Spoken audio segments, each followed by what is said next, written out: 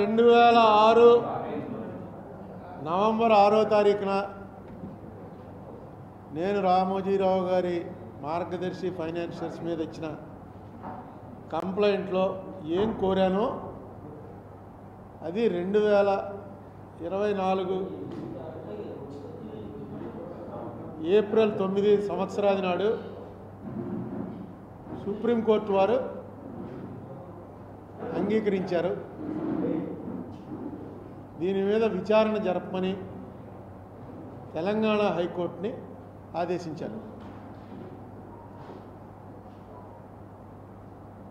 ఇన్నేళ్ళలో ఏం జరిగిందో మిగతా రాష్ట్రంలో వాళ్ళకి రాజమండ్రి ప్రెస్కి బాగా తెలుసు. మీలో తరాలు కూడా మారిపోయాయి. కొత్త వాళ్ళు వచ్చారు జాయిన్ అయ్యారు. పాత వాళ్ళు కొందరు వెళ్ళిపోయారు. కొందరు రిటైర్ అయిపోయారు. ఇన్నేళ్ళు నేను ఏం మాట్లాడినా విన్నందుకు మీ అందరికీ నా ధన్యవాదాలు తెలియజేస్తాను. ఎందుకంటే ఇది ఒక పెద్ద ఈ దాన్ని ఏమంటారు? చట్టానికి సంబంధించినటువంటి పరీక్షలో ఒక సామాన్యుడు నిలబడగలడా లేడా అన్నదానికి నిలబడగలడు అని ఈవేళ తీర్పిచ్చారు. అయితే పేషెన్స్ కావాలి. దీనికి ప్రధానంగా ఉపయోగపడింది ఏంటంటే ఓర్పు. ఇందులో ప్రధానంగా నేను అభినందించవలసింది ఎవరినంటే ఫస్ట్ ఈ కేసు రెండు వేల పద్దెనిమిది ముప్పై ఒకటి డిసెంబర్ నాడు తెలంగాణ హైకోర్టు రామోజీరావు గారికి మార్గదర్శికి వ్యతిరేకంగా ఉన్న ట్రయల్ కోర్టులో ఉన్నటువంటి కేసు ఏదైతుందో ఉందో ఆ కేసుని ప్యాష్ చేసేశారు అన్న వార్త నాకు రెండు వేల పంతొమ్మిదిలో ఏడాది తర్వాత తెలిసినప్పుడు. ఇంకా మనం ఏం చేయగలం? ఎక్కడ అది ఏ పేపర్లో రాలే.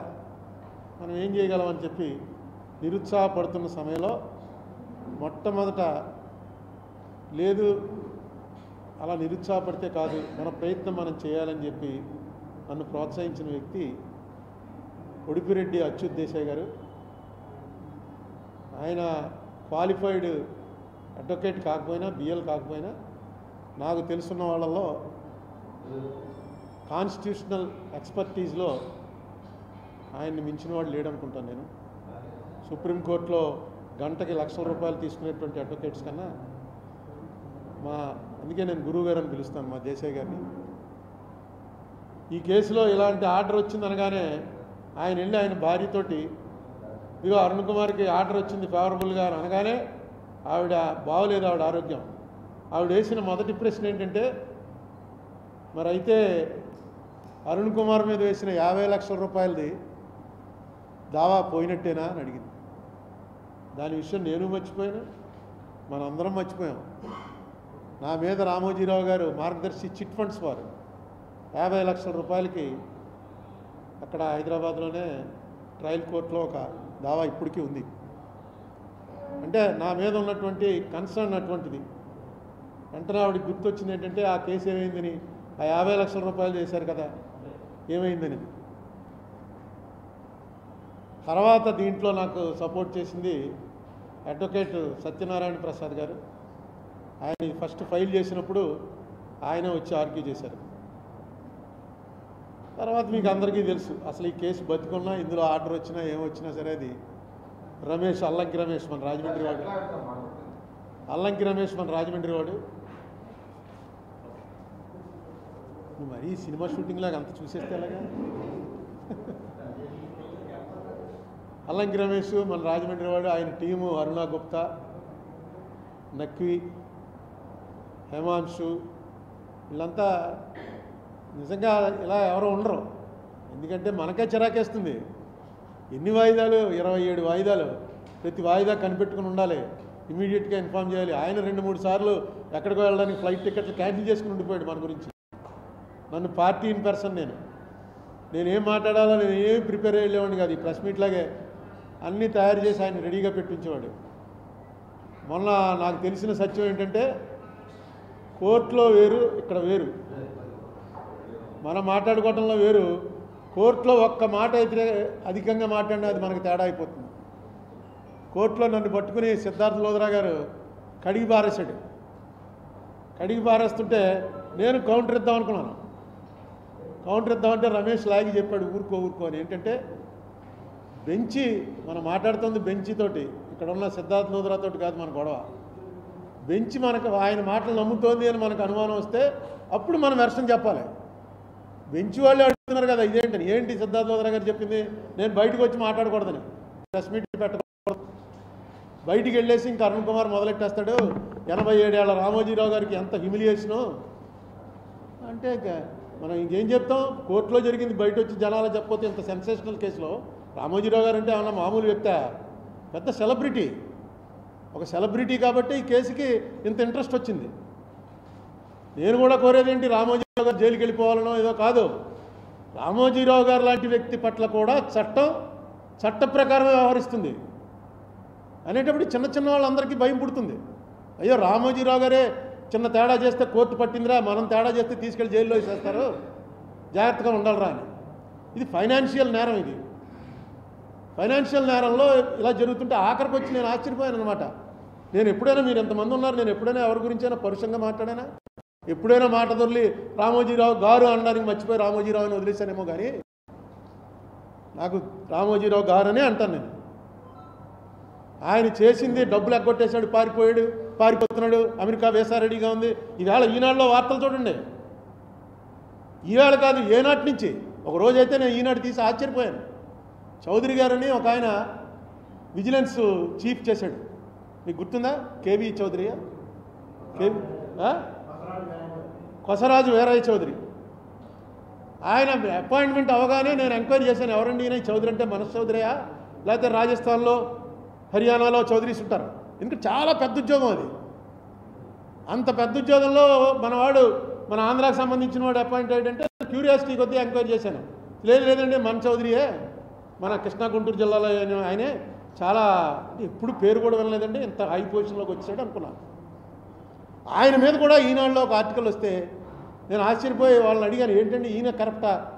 ఈయన మీద ఇలా వచ్చింది ఏంటండి? అంటే రామరామ ఆయన మడిగ మనం అనుకుంటుంటాం మడిగట్టుకున్నాడండి ఆయన. ఆయన మీద మడిగట్టుకోవడం అంటే ఎవరిని దగ్గరికి కూడా రానివాడు అనమాట అంత ఆనెస్ట్గా ఉన్న ఆయన ఏంటంటే నేను ఆశ్చర్యపోయాను ఇదే ఇదేంటరా ఈనాడులో ఆయన మీద కూడా వచ్చేసింది ఇంత దారుణంగా వచ్చిందని.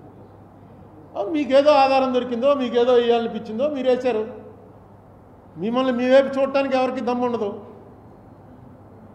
మీరు ఎలా రోజు మీరు రాసే రాతలు ఎలా కావాలంటే అలాంటి రాతలు రాస్తాను మీరు రాసిన రాతల మీదే ఒక రోజు ఎగ్జిబిషన్ పెడతాను నేను. నా మీద రాసిన రాతల మీదే ఎగ్జిబిషన్ పెడతాను. ఆ కటింగ్లన్నీ నా దగ్గర ఉన్నాయి. పెట్టి మొత్తం మీరు అందరూ వద్దురు కానీ ఇక్కడ ఎగ్జిబిషన్ పెట్టి చూపిస్తాను అసలు. ఎలాగ వార్తని వ్యక్తీక దాన్ని వక్రీకరించి భావ వ్యక్తీకరణని అణగదొక్కేస్తారో ఈనాడువే ఉదాహరణలో నేను కనెక్ట్ అయినవి చూపిస్తాను మీకు. ఈవేళ అక్కడ కోర్టులో నా మీద ఏవేవో తీసి చూపించారు. నేను జస్టిస్ రజనీ గారిని తిట్టంట కోర్టుల్ని తిట్టంట. ఏవేవో ట్రాన్స్లేషన్ అంటాం ఇంగ్లీష్లో వాళ్ళు చూపించడం అది బయటికి చదవకూడదు. ఈయన ఇస్తాడు ఆయన చదువుతాడు జడ్జి గారు చదువుకుంటున్నారు. నన్ను అడిగారు మధ్యలో ఎందుకు ఇలా అన్నావు? అన్నారు. ఏమన్నాను? నేను ఎప్పుడు అంటానండి? ఏమన్నా చెప్పండి అంటే నో నో నువ్వు కొంచెం రెస్ట్రైన్ చేసుకోవాలి. అవన్నీ ఆ ట్రాన్స్లేషన్స్ అన్నీ కూడా మిస్చిప్ అని చెప్పాను. అది నమ్మారు కోర్టు వారు మీరు చెప్పండి ఇప్పుడు బయటికి వెళ్ళి నేను మాట్లాడచ్చా మాట్లాడకూడదా? మాట్లాడొద్దంటే మాట్లాడు నేను. చెప్పండి మీరు అన్నారు నోనో అదేం కాదు. నువ్వు నువ్వు మాట్లాడు కోర్టులో ఏం జరిగిందో చెప్పు. కొంచెం వాళ్ళు అంటున్న వాళ్ళు బాధపడుతున్నారు కదా అని. నాకు మాత్రం బాధ ఉండదండి. రామోజీరావు గారు నాకు ఏమన్నా నా ఆస్తుల్లోకి ఏమన్నా వచ్చాడా? లేకపోతే నన్ను ఏమన్నా పర్సనల్గా వచ్చి నాకు అటాక్ చేశాడా? నాకెందుకు ఉంటుంది? రామోజీరావు గారు ఏమైతే నాకేముంటుంది ఒక ఇష్యూ తప్పు జరిగింది అన్నది పట్టుకోవడానికి లేకపోతే పాలిటిక్స్లో ఉండి ప్రయోజనం ఏంటి? ఇన్నేళ్ళు రాజకీయాల్లో ఉండి పెద్ద ఆయన తప్పు చేస్తే మనం కళ్ళు మూసుకుపోవాలా అనుకుంటే ఇంకేంటి? అందుకే ఇది రైస్ చేయడం జరిగింది. ఇన్నాళ్ళకి నేను అడిగింది ఫార్టీ ఫైవ్ ఎస్ వైలేషన్ గురించి. ఫార్టీ ఫైవ్ ఎస్ రామోజీరావు గారు వైలేట్ చేశాడా లేదా? అది తేల్చండి చాలు. దాంతో మిగతా వాళ్ళు కంట్రోల్లో ఉంటారు. కానీ కోర్టు వారు ఇప్పటి వరకు ఇచ్చినటువంటి డబ్బులు ఏదైతే ఇరవై ఆరు వందల కోట్లు కూడా పే చేసామని వాళ్ళు చెప్తున్నారో ఆ ఇరవై ఆరు వందల కోట్లు పే చేశారా లేదా కరెక్ట్గా తెలుసుకోవటానికి ఒక జ్యుడిషియల్ ఆఫీసర్ ఒక రిటైర్డ్ హైకోర్టు జడ్జిని ఎవరిని అపాయింట్ చేయండి అని మన తెలంగాణ కోర్టును ఆదేశించారు. ఆదేశించినప్పుడు వాళ్ళు అభ్యంతరం చెప్తూ ఇది అయిపోయిన దాని గురించి మళ్ళీ దీన్ని తెరుస్తారంటే? ఫార్టీ ఫైవ్ ఎస్ వరకు ఓకే ఇప్పటికి వచ్చారు ఈ మాట. నేను మొట్టమొదటి నుంచి చెప్తున్నా సిద్ధార్థ లోదరాని అనేక సార్లు కోర్టు వరండాలో కలిసినప్పుడు చెప్పాను.